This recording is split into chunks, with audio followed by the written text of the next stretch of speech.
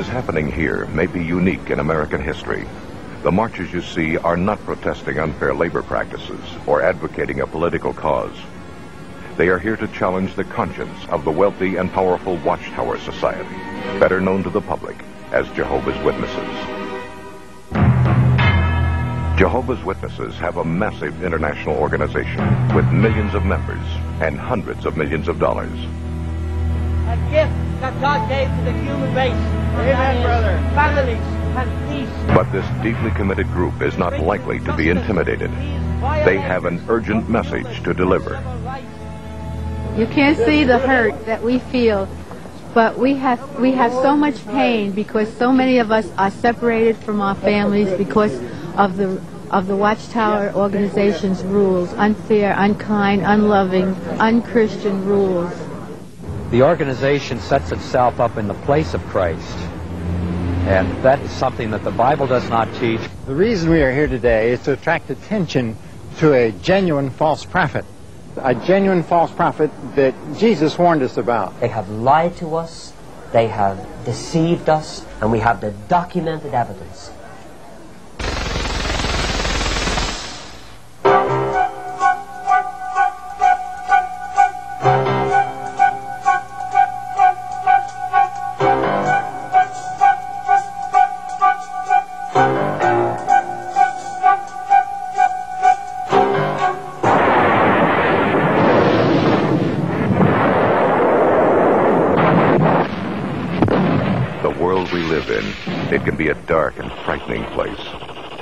Breeding place for greed, heartbreak, evil, a nightmare far removed from mankind's greatest dream, paradise.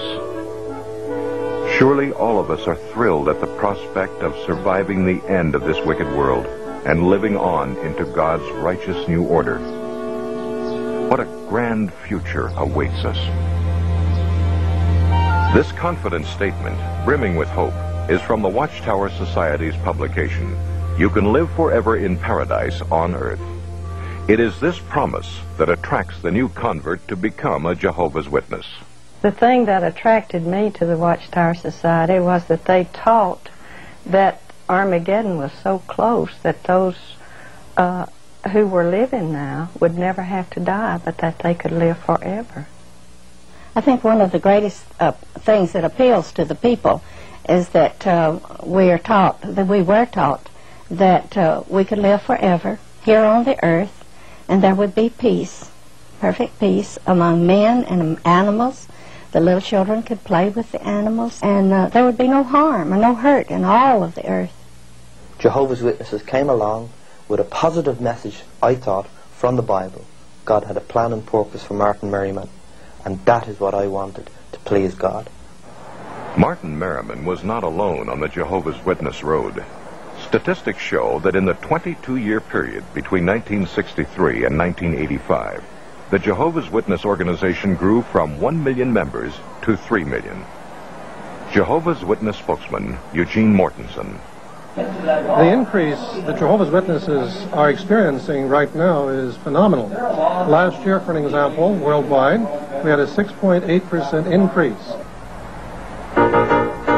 It all began in Pennsylvania in the late 1800s when Charles Taze Russell came under the influence of a Second Adventist preacher.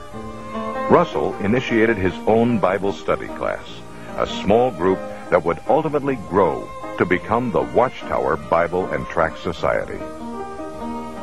Borrowing directly from the prophetic speculations of Nelson Barbour, a New York Second Adventist, Russell claimed that in 1799 the world had entered the time of the end.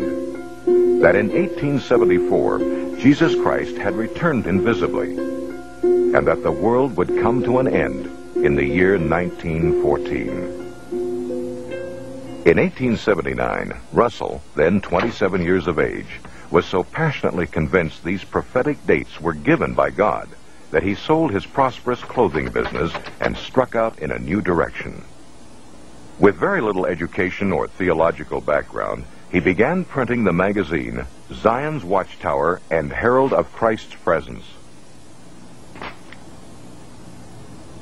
Known today as the Watchtower, this publication which has grown from an initial printing of 6,000 to well over 288 million copies annually, dictates all major doctrines to Jehovah's Witnesses. During his lifetime, Russell authored a vast amount of literature, including a series of volumes entitled Studies in the Scriptures. According to Russell, no one could understand the Bible without these books, and reading the Bible alone would lead only to spiritual darkness. One of Russell's teachings was that Egypt's Great Pyramid was designed and placed there by God as his second witness next to the Bible. It would be an instrument to reveal his great plan of the ages for mankind. This measurement indicates the length of the year, the weight of the earth, the distance to the sun, etc. Russell believed his dates and chronology were confirmed by the measurements of the interior passageways of the Great Pyramid. According to Russell, the passageways verified 1914 as the year the world would end. Finally, 1914 came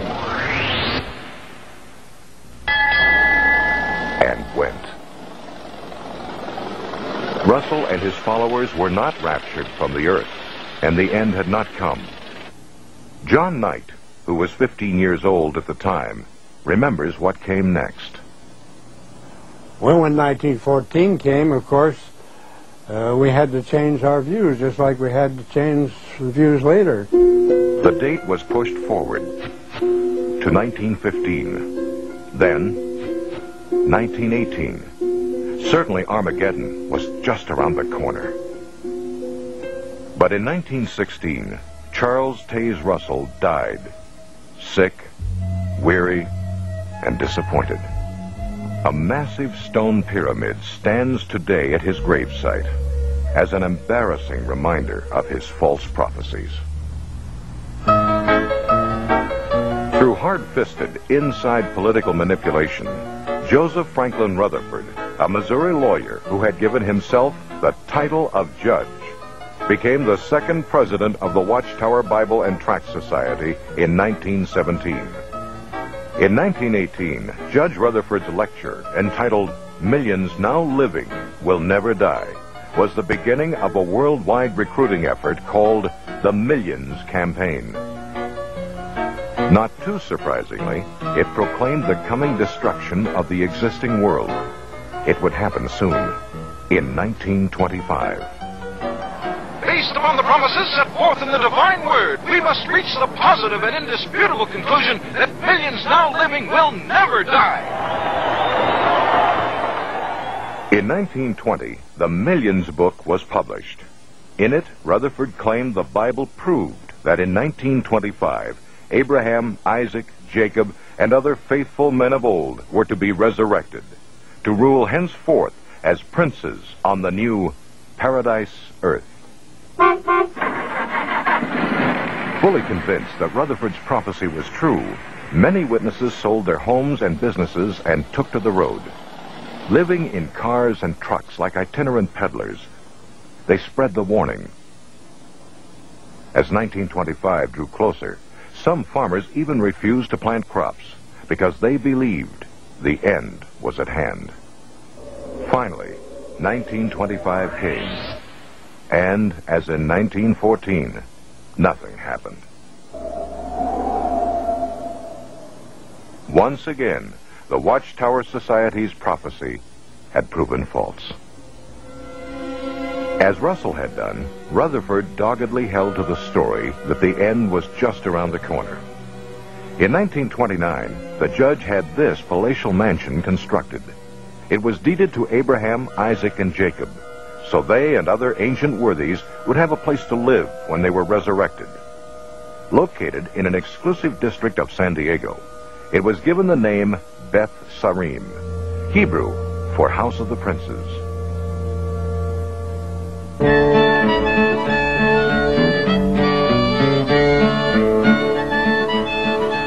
The world entered the Great Depression, but Rutherford lived like a millionaire spending the winter months at Beth Sarim, summering in Europe.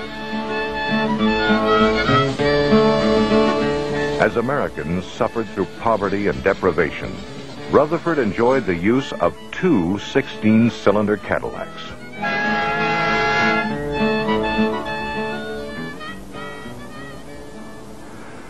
Under Rutherford, the Watchtower Bible and Tract Society became a well-oiled corporation. New books, literature, and tracts poured forth in a flood to be sold door to door by faithful witnesses. He drove his followers to labor hard for the Lord. He advised young couples not to marry, but to put all their energies into proclaiming the kingdom. Even portable phonographs were utilized at the doorstep. Because the people have been induced to believe that Christianity and religion are the same thing. Around the world, zealous witnesses paraded in front of churches on Sunday mornings bearing placards with the slogan, Religion is a snare and a racket.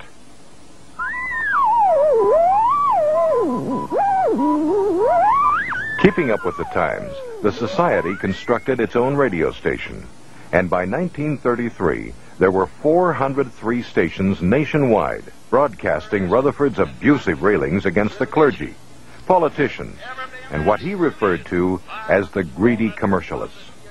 On the radio and in print, he continually stressed that the end of the world was just months away.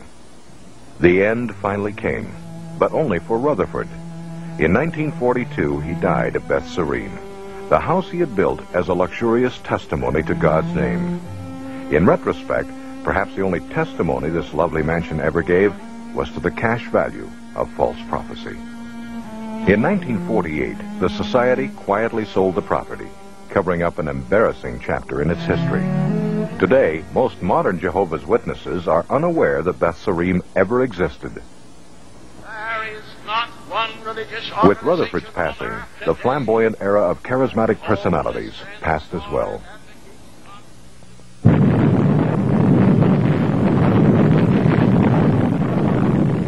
Today, fueled by the anxieties of a nuclear age, the Watchtower Society is a multinational corporate giant, spreading its new message of doom to every corner of the globe. Standing between God and the millions of Jehovah's Witnesses is an autocratic ruling council called the governing body. Because Jehovah's Witnesses believe the Word of God is channeled to humanity through this elite committee alone, these men rule with unchallenged authority. Every witness is subject to their dictatorship, from the cradle to the grave. Raymond Franz, author of the book Crisis of Conscience, was a member of the Watchtower Society's governing body for nine of his 60 years as a Jehovah's Witness. His account of their secret sessions is revealing.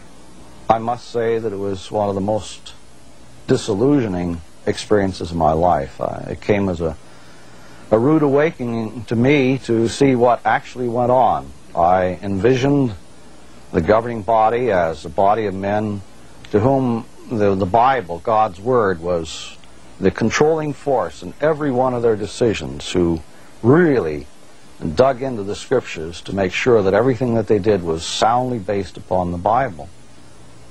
And when I got into the governing body, I found that the Bible was rarely appealed to, was rarely used. That mainly was a matter of discussing organizational policy and how to apply this organizational policy.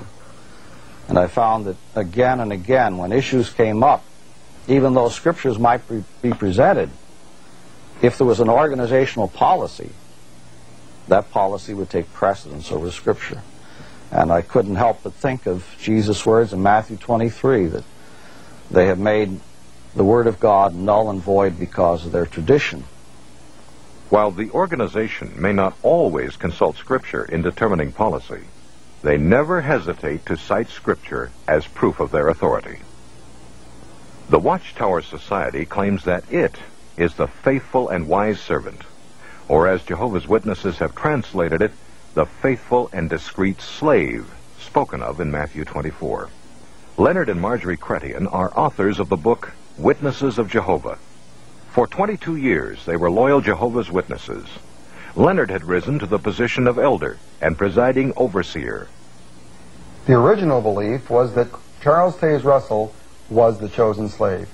The Watchtower Society taught that the stewardship of the things of God had been taken away from the Christian churches and given to Russell. When Russell died, they had to adjust their belief to fit a new set of facts. Now they claim that in 1919, having invisibly come into power over the earth, Christ needed an organization to announce his kingdom and administer his affairs here. So the story goes, he carefully examined all the Christian religions and rejected them in favor of the Watchtower Society. Peter Gregerson was a member of the Watchtower Society for nearly 50 years. He was a highly respected elder and served in a number of responsible positions. And as a result, I started to do some very serious thinking about things that were going on inside the organization.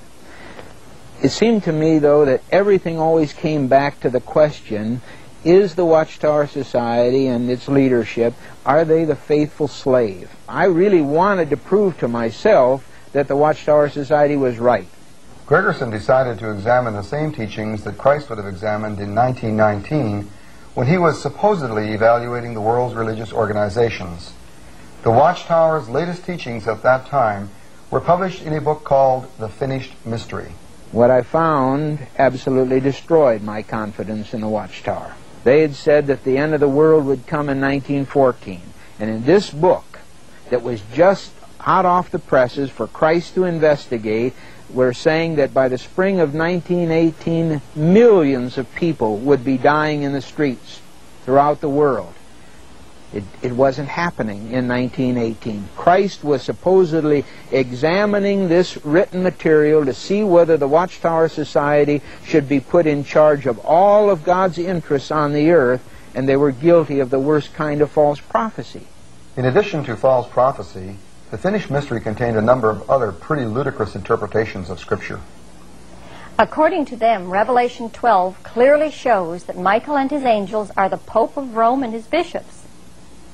Revelation 14 mentions a distance of 1,600 furlongs, which this fascinating book explains as the distance from Scranton, Pennsylvania to Watchtower headquarters in Brooklyn, provided you go by way of the Hoboken Ferry and the Lackawanna Railroad. The Bible speaks of the great sea monster Leviathan. You may want to know what the Leviathan really looked like.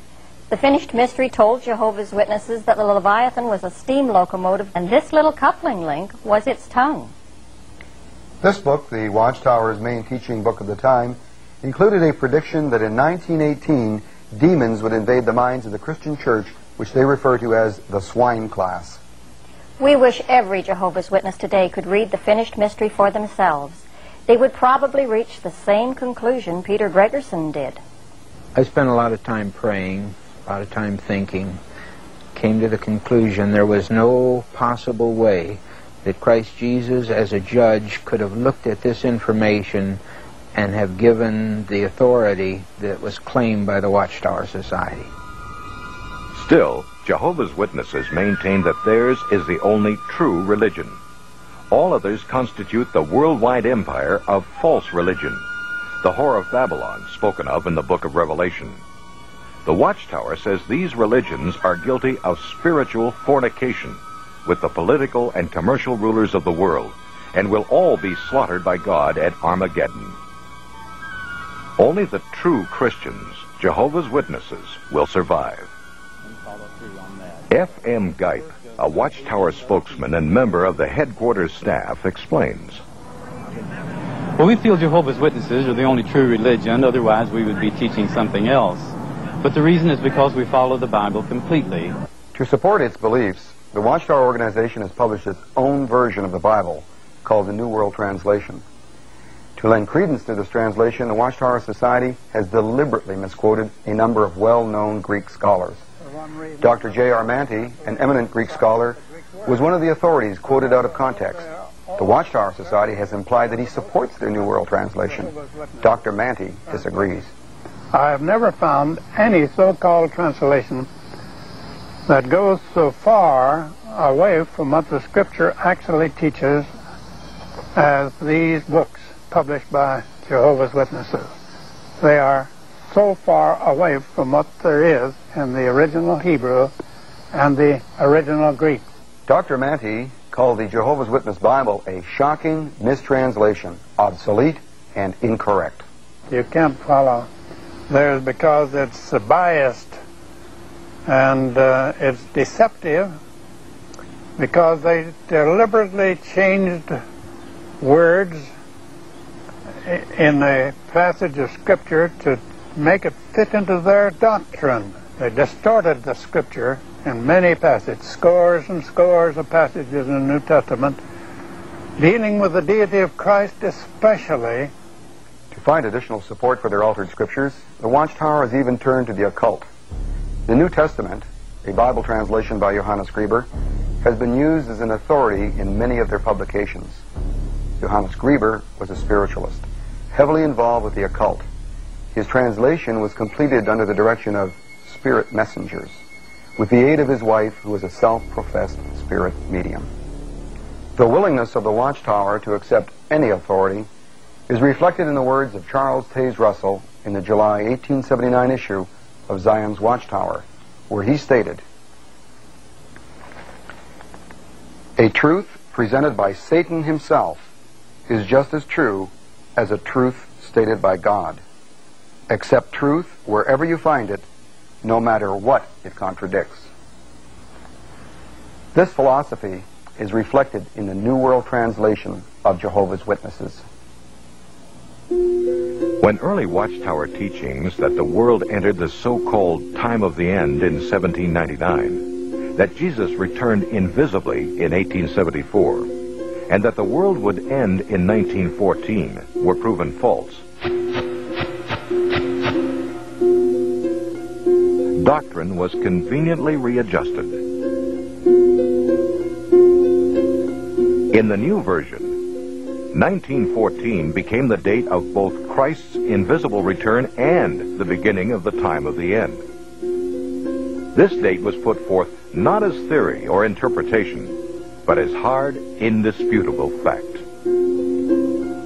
Watchtower Society official Eugene Mortensen. Jehovah's Witnesses, from their study of the Bible, have firm belief in the fact that since the fall of 1914, Jesus has come into kingdom power and as he prophesied in the 24th chapter of Matthew, the generation who saw the beginning of this time would not pass away until all things would be accomplished. That means also the end of this wicked system of things. The Watchtower Society is very concerned that time is running out for the so-called generation of 1914. The few who are still living are quite elderly, and should they all pass away before Armageddon, Jehovah's Witnesses will be faced with another false prophecy to explain. Anticipating this future embarrassment, the Chairman's Committee of the governing body actually prepared a document suggesting the date be changed from 1914 to 1957. Raymond Franz was a member of the governing body when this recommendation was considered. Now, in this document, they suggest and advance as a, an idea that uh, the generation that would see the time of the, the uh, end of all things should not be counted from 1914. They fix on Jesus' statement that there would be signs in the heavens. And so they suggest here that the date should be moved up to 1957 when the Sputnik was sent into space by the Russians. And they say, now this is the celestial phenomena that would indicate the generation that would see the final windup. The Sputnik idea was ultimately rejected by the governing body, but for the generation of 1914, time is running out. How did the Watchtower arrive at 1914 as an all-important date? Their chronology is based on the year 607 BC, which they claim is the year Jerusalem fell to the Babylonians. 07 before Christ. Carl Olof Jonsson, Swedish author of the book The Gentile Times Reconsidered, is a former Jehovah's Witness elder and pioneer minister. I didn't question this chronology in the beginning because I thought the Bible supported it. I knew, of course, that uh, historians uh, dated the, the, desolation of Jerusalem not in 607 but in 587 uh, or 586. But in 1968, I conducted a Bible study with a man who wanted to know why historians they uh, prefer the date 20 years later. Uh, so I started to investigate the matter. And I soon discovered that um, historians had very strong evidence in their support. when Raymond Johnson compiled his research and sent it to Watchtower headquarters. But the Society's leaders were determined to keep their doctrinal system intact. I got the letter with a warning. I was warned that uh, I should not uh, share my findings with uh, other witnesses. To conceal the facts and suppress his seven years of research, the Watchtower Society excommunicated Carl Olof Jonsson. Our teaching on Jesus Christ is that Jesus is the Son of God. He was the first thing that Jehovah created, and uh, through him other creative works were done. Now, some religions teach that God and Jesus are one and the same, but the Bible does not teach that, and it, therefore neither do Jehovah's Witnesses. We believe that the Bible teaches that Jesus carries out a number of functions for Jehovah God, the Most High. For example, in the Hebrew Scriptures, he is referred to as Michael. Uh, Michael, literally translated into English, means who is like God. Witnesses believe that Jesus Christ is a spirit creature, a super angel, the first creation of Jehovah God, who prior to coming to earth as a man, existed in heaven as Michael the archangel. Jesus started out originally as the Logos.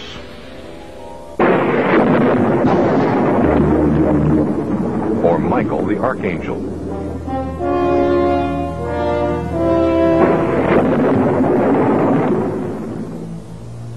Then came to earth as the virgin born son of Mary. He was a perfect, sinless man. But he was only a man devoid of all divinity. Jesus walked the earth as a man, becoming the Christ only when he was baptized. Jehovah's Witnesses hold the cross in contempt, feeling that it is nothing more than a pagan symbol used by apostate Christendom. Instead, they teach that at the completion of his ministry, Jesus died, not on the cross, but on an upright stake Christ's body was then laid in a tomb where it was disintegrated by God, totally destroyed forever. Jesus was then recreated by the Father. Before going to heaven, he materialized in different bodies on different occasions to convince his disciples and others that he had really been resurrected. Jesus returned to his Father in heaven where once again he became Michael the Archangel. He will never again be seen on the earth in visible form, but instead rules invisibly from the heavens. When he executes judgment over the world at Armageddon, he will destroy all but the faithful Jehovah's Witnesses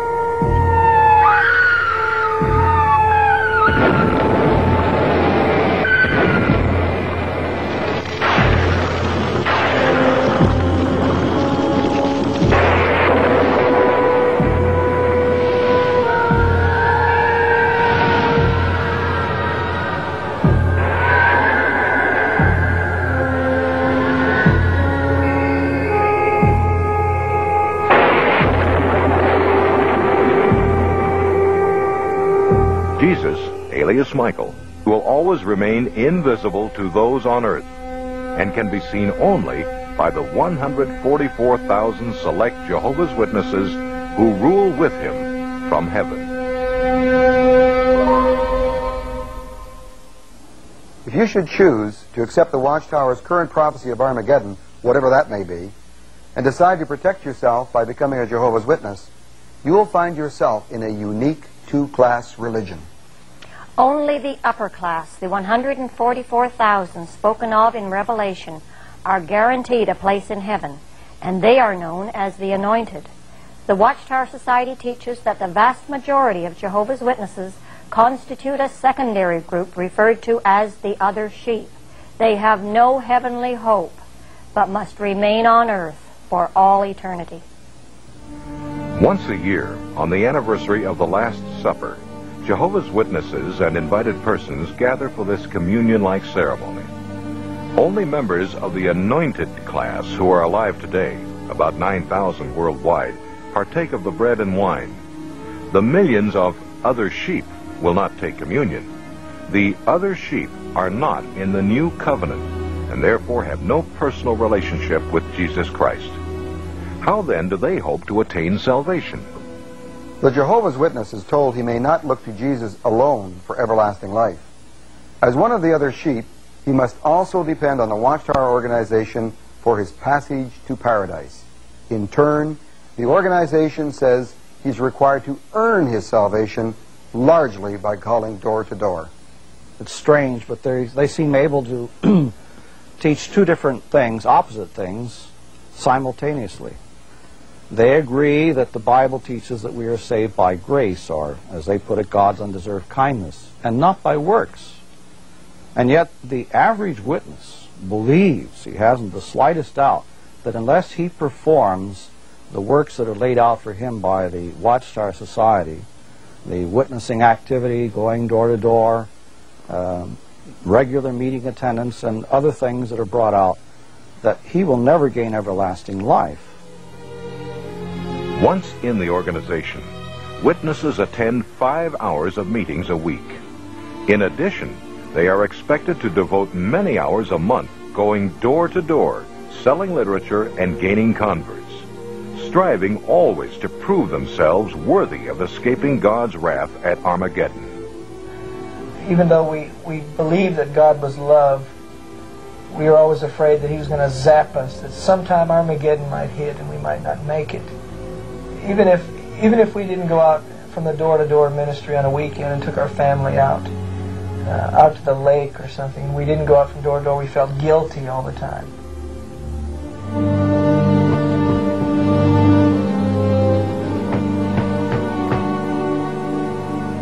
In order to keep a close check on the activities of each member, the organization requires them to turn in a monthly time report if they want to be retained on the rolls as active Jehovah's Witnesses. We don't keep any membership records per se, but uh, the only record we have is those who actually go door to door preaching.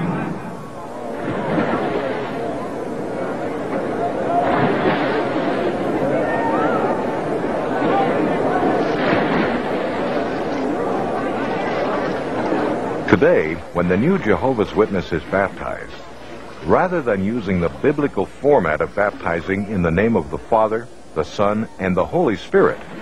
The witness is baptized in the name of the Father, the Son, and the Spirit-directed organization. This is a dedication to them that is without any reservation. They are now going to set their entire life aside to do their Creator's will. Thus baptized, the Jehovah's Witness is now committed to slave for the organization until the world comes to an end. Jehovah's Witnesses exist in a rigid, structured, thou shalt not environment. They are forbidden to vote or hold elective office, celebrate holidays, belong to the YMCA or YWCA, salute the flag, sing the national anthem, or participate in other patriotic activities. They can't serve in the military or work for a military organization. They may not accept blood transfusions, read anything critical of the Watchtower Society, or associate with former Jehovah's Witnesses. They are forbidden to even attend church. If life is narrow for the adult witness, the problem is greatly intensified for their school-age children. The Watchtower Society has published a book entitled School and Jehovah's Witnesses. It defines for schools what activities witness children are forbidden to participate in.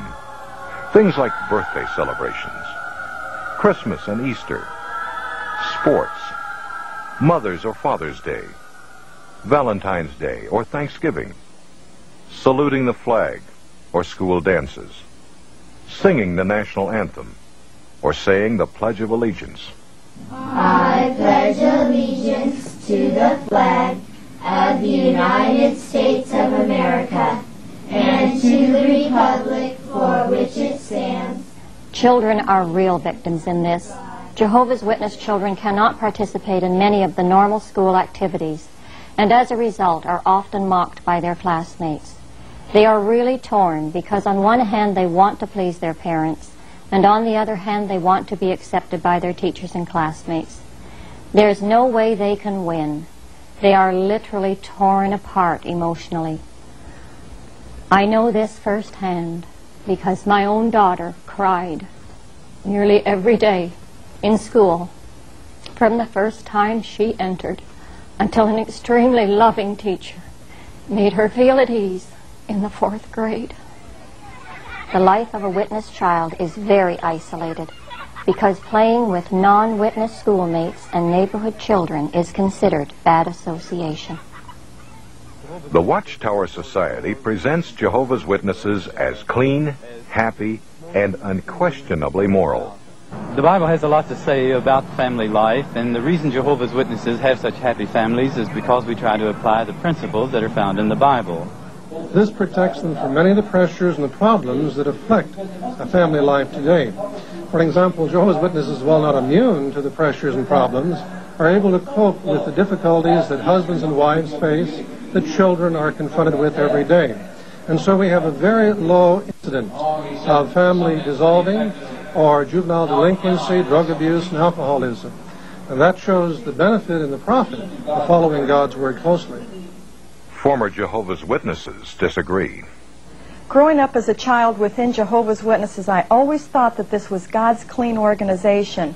But when I got older, I found out that there were divorces, there was gross immorality within the congregations, and that we were actually no different than the ones we were condemning. As an elder, I saw the seedy side of the congregation. Members would come to me with their problems, and I found out that even elders were involved sometimes in crooked business practices and in immorality. And I began to discover that we were really no better than the people on the outside of the organization. When I left Bethel, it was hard for me to even share with my mother and father what was going on up there, the, the drunken parties that went on, and, and the homosexuality and things like this.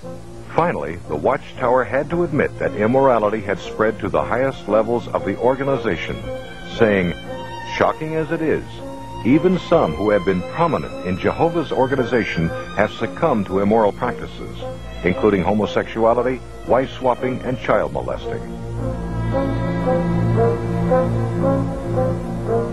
Alcoholism, depression, and mental disorders among Jehovah's Witnesses have come to the attention of psychiatric professionals. Dr. Jerry Bergman is a former Jehovah's Witness and a trained psychologist. In my experience in working for a number of psychiatric clinics as a therapist, I've worked with many, many Jehovah's Witnesses, and I find that many of them suffer from severe emotional problems, from schizophrenia, from severe depression, alcoholism, and other problems. I've also consulted the scientific literature on this question, and I found that it clearly confirms that the mental illness rate among the witnesses is clearly above average. One of the most intimidating devices used by the Watchtower Society is the threat of appearing before a judicial committee of elders. Public censure, even disfellowshipping, can be the sentence of this powerful court. The inflexibility of Watchtower policies has led to thousands of instances of mental distress, even suicide. Dottie Hike's family experienced the cold steel of Watchtower doctrine when her 16-year-old son Billy became romantically involved with a married Jehovah's Witness woman. Conscience-stricken, Billy turned to his parents. He was very upset, extremely distraught. And he just didn't know what to do. And he was making statements like, I just can't go on. I just can't face this. And he was threatening to commit suicide. My husband and I talked with him for hours and did everything and said everything we knew to do to try to get him to realize that there's no situation too bad that you can't face. But things just were not getting any better. So as witnesses, you're taught not to seek the professional help of anyone. So we felt our hands were so tied we didn't know what to do. The family turned to an elder of the congregation for help. The elder called Billy outside, and his parents felt a solution was near. But their hopes were short-lived. We felt the elder would really have some kind of words of consolation for him, even though no one condoned what he had done. This boy was reaching out for help, and he did need someone to console him.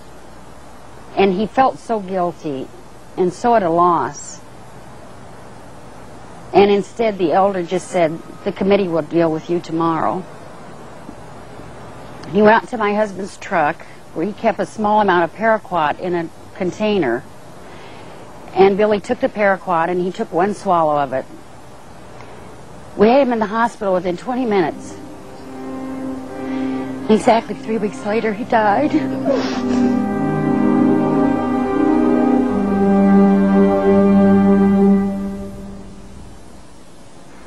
Did the witness congregation respond with compassion to this tragedy?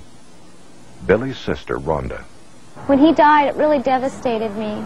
At his memorial service, none of his friends that he'd known all of his life were able to attend, and that really hurt me. The Jehovah's Witnesses claim to bring the families together. Through them, my brother killed himself. My mother tried to kill herself. My two sisters and my brother will not speak to me. My grandmother will not speak to me. She wouldn't let me see my grandfather before he passed away. They didn't bring our family close together. They nearly totally destroyed it. While the members of the governing body may escape blame for the death of one desperate boy, they can hardly escape responsibility for their policies in the African country of Malawi. Policies that left thousands of witnesses raped, homeless, or dead. In the mid-1960s, in the African country of Malawi, all citizens were ordered by the government to purchase a 25 cent party identification card. Jehovah's Witnesses were forbidden by the Watchtower Society's branch office from complying with that law. As a result, Jehovah's Witnesses suffered a terrible persecution. Homes and crops were burned. Thousands of women were raped, and some 20,000 witnesses were forced to flee Malawi into neighboring countries to live in refugee camps, their lives scarred forever. Now, Jehovah's Witnesses uh, are taught that it's a sin to be involved in any way with politics. They're also taught that it's just as great a sin to have anything to do with the military.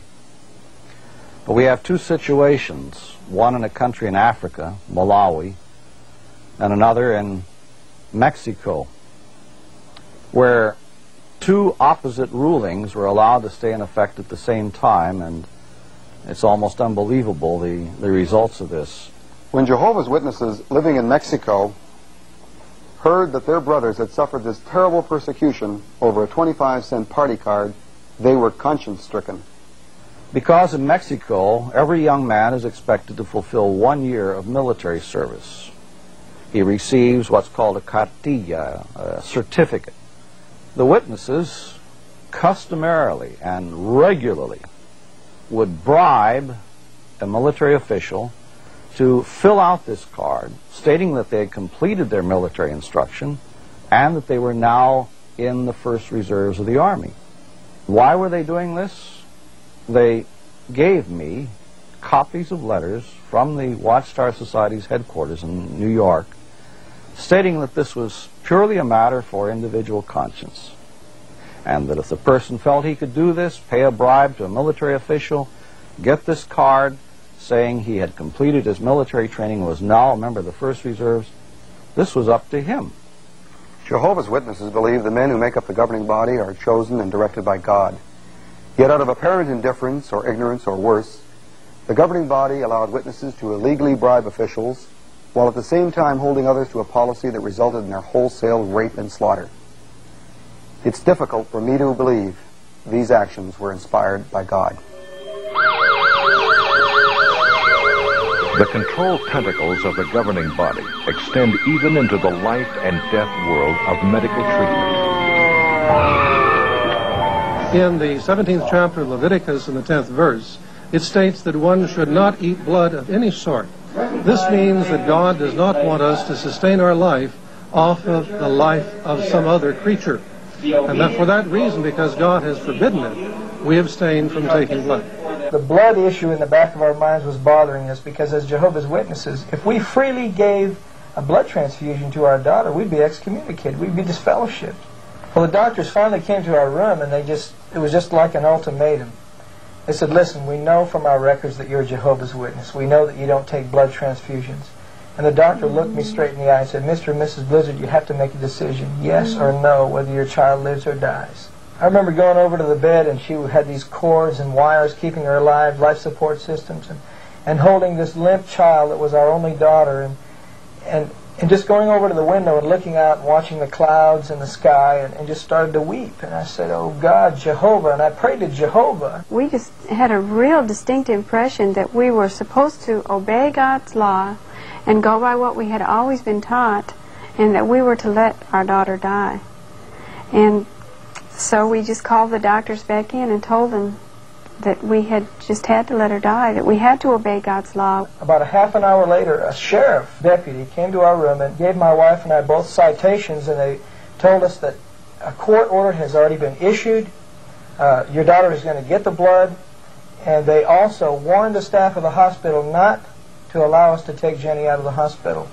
And we were charged with child neglect and abuse. The witnesses, there was multitudes of them that came up to the room, just swarmed the room, tried to give a, giving us watchtower articles about uh, artificial blood, and and uh, you just can't let your child take that blood, and just putting this heavy guilt trip on us. The elders were relieved to find out that there was still time to get Jenny out of the hospital, and they would they would come up to me and say, "Hey, I've got a plan. We can get her. We can hire a helicopter. We can sneak her out of this hospital. Just unhook the tubes, and and we're gone." And I said, "Wait a minute." You can't do that. It's against it's against the law. I'll be charged with murder. They said that's a chance you're going to have to take. And I just told them, look, I just can't let my child die in that way. And the elders were just so upset. They left in a huff. They were mad. And one of the elders said on the way out, he looked me in the eye and said, "You know what? I hope your daughter gets hepatitis from that blood." And that was just the straw that broke the camel's back. I was just broken here. My own people God's organization turning against me, cursing me, because I just wanted to see my child live. And so they left. And we were all alone. Even my own parents didn't come see us. I think many times Jehovah's Witnesses have really never thought the blood thing through. It's either right or it's wrong. If it's wrong, the Watchtower Society is guilty of causing the deaths of thousands of people. That's wrong. It's evil. I think the evil needs to be seen for what it is. It's this concept, this organizational concept, that the organization is everything. You see, Jehovah's Witnesses believe that this organization is God's one channel, that all of God's direction for people on the earth comes through this channel. And the men on the governing body believe it. I believed it. And that's the reason I was party to some things in the past that today I, I feel shame to think that I even had part in them. If the governing body of the Watchtower Society holds and enjoys the power, then they must also bear the responsibility. The truth is, they don't. Nothing better illustrates this than their false prophecy concerning 1975. Well, when the Society brought out the date 1975, I felt right away that th this is going to be the date when the thing has to happen because there was no other date beyond 1975 that anybody could point to. So uh, I grabbed right a hold of it. It, it was a thing to do, and uh, I put all my hopes in it. By the mid-60s, the Watchtower Society had all but guaranteed that the world would come to an end in 1975. It was a prophecy that would bring in a flood of new members, and the organization prospered. But it would have other effects on the ordinary Jehovah's Witness. We thought Armageddon was coming in 1975. So I did not have a career. I didn't go to college because the end was so close. There was no need. The new world would be here. Uh, I was a senior in high school, and the circuit overseer, which is a traveling minister, advised me that it's best for you to quit school and go into full-time pioneer work because the world is going to end in 1975. And we felt so strongly about the imminent approach of 1975 and that this whole system was coming to an end that we sold our home in lower Michigan, moved north, built a Kingdom Hall, and there we intended to live out those few remaining years, having saved just enough money to go a few years beyond 1975. And so it was a great disappointment and distress when this event that the Watchtower had prophesied did not materialize. I wanted to get married. I wanted to have children. But because the end was so close, when Fred and I got married, we decided that we would postpone having children. So I believe we sacrificed a lot within the organization. Well, when the end of the world didn't come in 1975, and that prophecy of the watchtower failed, I begin to wonder if they were wrong on this, how many others are they wrong on? And once again, Watchtower fact was revealed as nothing more than contrived fantasy. Jehovah's Witnesses tried to get an explanation, but were unsuccessful. Apparently, for the governing body, nothing is so invisible as an unpleasant truth. Today, they are quick to deny their prophecies for the end of the world. We do not, nor have we attempted, to predict a day or a time for it. The history and prophecies of the Watchtower Society are easily revealed as fabrications and distortions by simply reading the material they've published from the beginning. Their greatest enemy is their own literature, which clearly shows the man-made nature of their theology. Jehovah's Witness leaders have continually covered up and rewritten their ever-changing doctrines, each time presenting them as new light. The one thing the Watchtower Society cannot tolerate in the organization is critical thinking. That's why they forbid their followers to read any material which might expose their deceptions. Really shocked me to my core was this, and every other Jehovah's Witness listening to this, is that we were so convinced that the leadership, the governing body, would never tell one lie. Mm-hmm. They would always speak the truth Yes. no matter what the truth was. Mm-hmm. That is a fabrication. It is a lie. They have lied to us. They have deceived us. And we have the documented evidence. And because we've spoken about it, we were silenced or threatened to be silenced. And that's what will happen to any Jehovah's Witness listening to this program. And he knows it in his heart. He knows it in his heart. I saw in the body that most of our time was spent discussing the formation of new rulings, all designed to keep the witnesses in and to keep bad people out, to act as that kind of a fence. And again and again, the decisions had absolutely no basis in the Bible. The witness who breaks these executive commandments is subject to disfellowshipping, the Watchtower's word for excommunication. Jehovah's Witnesses practice removing those who refuse to conform to right principles from among themselves. The Bible refers to this and supports this practice as preventing leaven or false thinking or teaching from entering into the congregation, thereby maintaining its purity or its cleanliness. I went to a Christian church with my husband, and they disfellowshipped me for that. They believe that when you when you become uh, when you leave the organization, you go to the devil anyway. But if you ever join a church, this is the ultimate sin. They believe that it's committing spiritual fornication with the devil. In my uh, job assignment at the, Brooklyn Bethel headquarters, I would often process disfellowshippings which came in from all the various congregations in the United States. And they literally amounted to hundreds that would come in every week.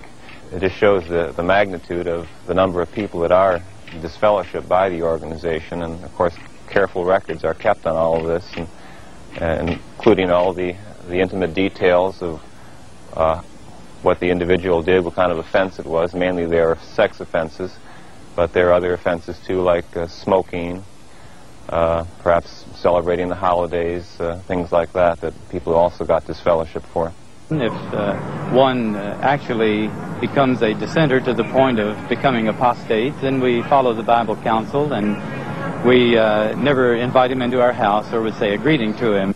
If a person resigns, they are treated exactly the same as a person who is disfellowshipped.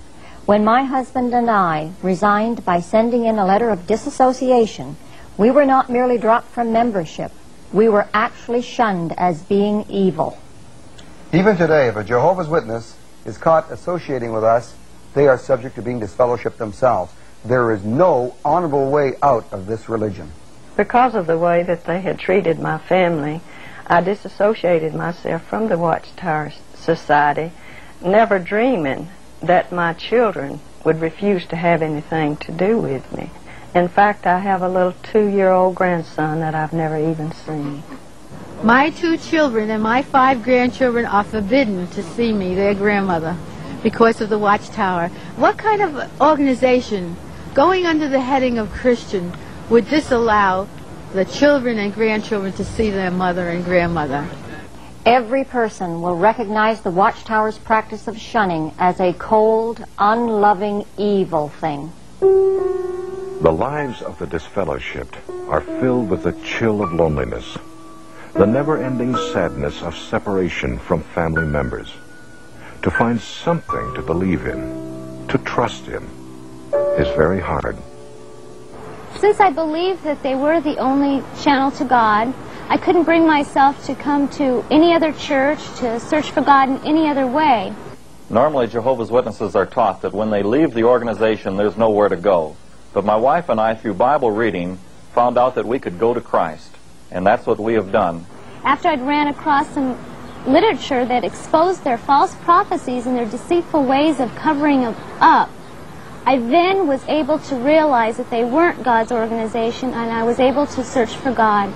And I found Jesus Christ, and He is my personal Savior, and He's changed my life just a hundred percent. We just uh, prayed and gave our heart to Jesus, and it seemed like such it was such a simple answer, but that was that was what we've been searching for all our life, and it wasn't an organization. It was Jesus. It was a personal relationship with Jesus that we didn't have before. We knew at that very moment that our names were written in the Lamb's Book of Life. It was, it was a free gift, eternal life just given to us, and all those works that we did, all the thousands of hours that we that we put in for an organization, all the hard striving was finished, and just grace, just grace saved us through faith, just a simple act of obedience and prayer and asking the Lord to take over. And it just filled us with joy and peace, a joy that we never had, never had as a witness.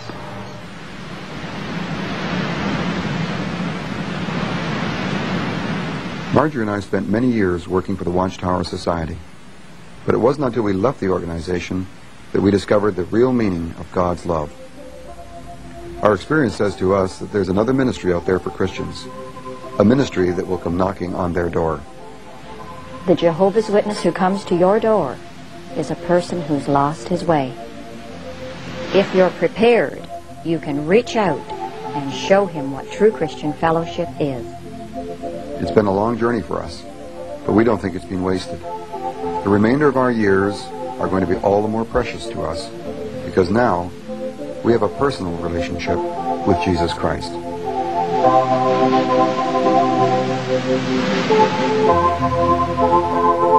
We finally came to realize that eternal life is a free gift. God's grace was all we needed. Just grace.